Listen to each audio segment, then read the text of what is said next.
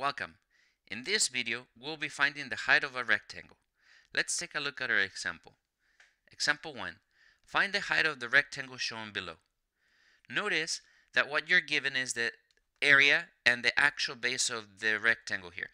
We happen to know that the area is 6.8 centimeters square, and we also know that the base is 2 centimeters. The relationship between area and base is given through the area formula.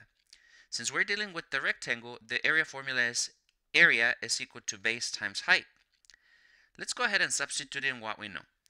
We happen to know that the area is 6.8 square centimeters. We also happen to know that the base is 2 centimeters. And let's say that the height is x, because that's unknown. So we're going to try to solve for x here. Now, in order for us to solve for x, let's divide both sides of the equation by 2 centimeters. Okay, so now 6.8 divided by 2 happens to give you 3.4. And centimeter squared divided by centimeter happens to be centimeters. And that's equal to 2 centimeters divided by 2 centimeters is 1. And 1 times x is just x. So we happen to know that the actual height of the rectangle here is 3.4 centimeters.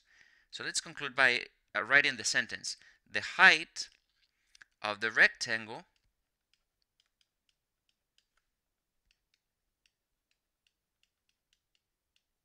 is 3.4 centimeters. And that's how we find the height of a rectangle. Thank you for watching and have a wonderful day.